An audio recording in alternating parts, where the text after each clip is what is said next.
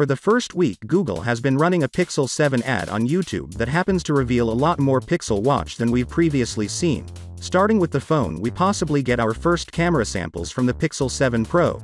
Google shows off somebody capturing a dive from a distance by using 4 as optical zoom like the 6 Pro does today. Speaking of watch faces we see a few examples but they are likely applied in post, one that appears to be new is an analog face with two complication spots on the left weather and right day or date. We get a new shot of the Fitbit experience specifically the exercise interface, and we see rings at the edge possibly representing heart zones fat burn cardio and peak BPM beats per minute up top step count and two other stats.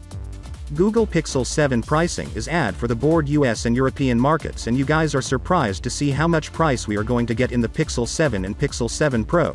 As listed on Amazon Pixel 7 Pro cost $599 in the US but we will going to see a price jump in European market but less than what we was expecting. Pixel 7128 gigs version will cost you around 649 euros because of currency devaluation, but this is less compared to what Apple did with the iPhone 14 lineup, a good news for people who wants to get in the Pixel 7 Pro since as per rumors Pixel 7 Pro will cost the same across the US and European markets $899 for the US and 899 euros or 899 pounds for the European market. A new tip pegs the Pixel 7 phone's retail date for October 18th or 12 days after the reveal which is a day later than the previously tipped October 13th release date. According to Google pre-orders for the Pixel 7 will begin on October 6th that same day as the launch event. The Pixel 7 Pro possible price isn't as obvious as the launch date but speculations are starting to emerge. According to leaker Artemis the Pixel Pro will cost $899.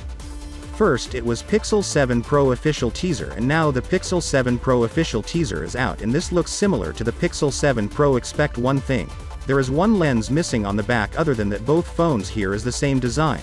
But the specification on the Pixel 7 and Pixel 7 Pro are different.